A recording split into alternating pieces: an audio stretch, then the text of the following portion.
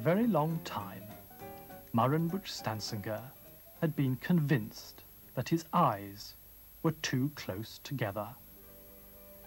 He'd often looked in the mirror from every conceivable angle. He'd taken a ruler and measured the gap between his eyes. He'd tried to cover parts of his face with his hand, wondering if, somehow, his other features were causing the trouble. But he didn't really think there was any doubt about it. His eyes were far too close together. In order to solve the problem, Murun Buchstansangur had tried wearing wide-brimmed hats to hide his eyes. Prototype pair of spectacles from bent wire to see if these would give the impression that his eyes were further apart than they really were.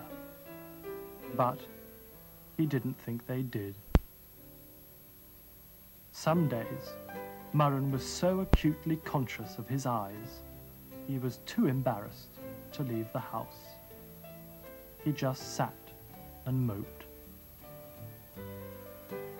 Finally, Murun looked at himself in the mirror and said, Murun Buchstansangur, you can't go on like this.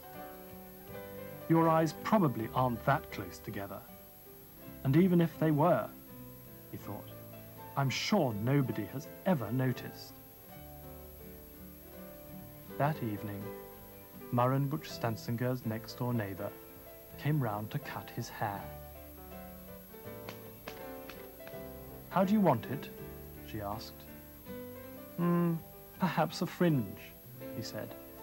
Oh no, Murun, she said. A fringe wouldn't suit you. Your eyes are far too close together.